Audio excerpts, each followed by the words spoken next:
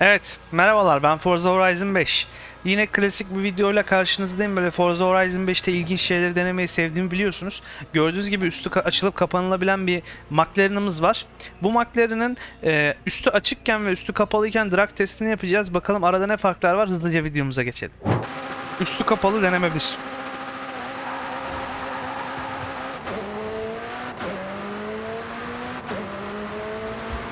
Gayet hızlı bir kalkış.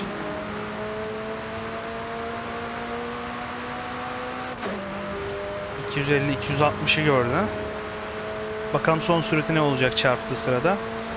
289'dayken vurdu. Bakalım üstünü açınca ne kadar fark edecek. Sonuçta üstü açıldığı için bir paraşüt efekti yapıyor ve çok daha yavaş gitmesi lazım. Bir bakalım Forza Horizon bunu yapmış mı? Bu arada hazır videonun ortasındayken şöyle bir trik vereyim. Gazı sonuna kadar köklerseniz ve üstü açma tuşuna abanırsanız şu şekilde hareket ederken açmaya başlıyor. Hatta fotoğraf moduna geçip sonra tekrar çıkarsanız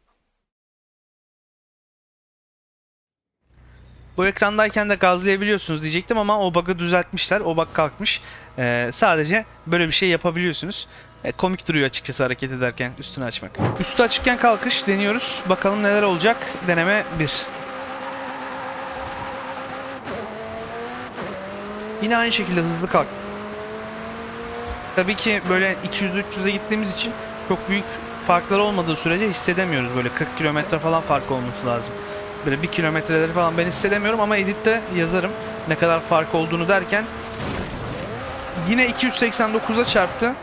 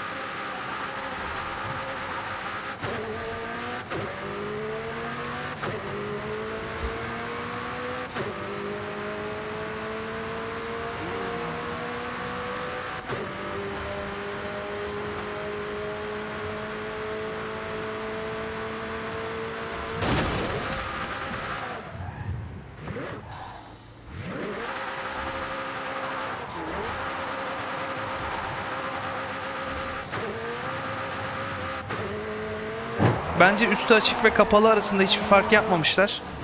Ee, eğer öyleyse şu an burayı eğer öyleyse diye ekliyorum. Üstü açık ve kapalı arasında hiçbir fark yoksa editte. En sona koyacağım burayı.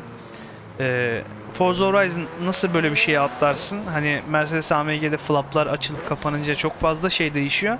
Bu araçta kocaman üstünü açıyoruz ve hiçbir şey değişmiyorsa hmm, hiç hoş olmadı Forza. Eksik bir şeyler yapmışsın. Bence bunu düzeltmelisin.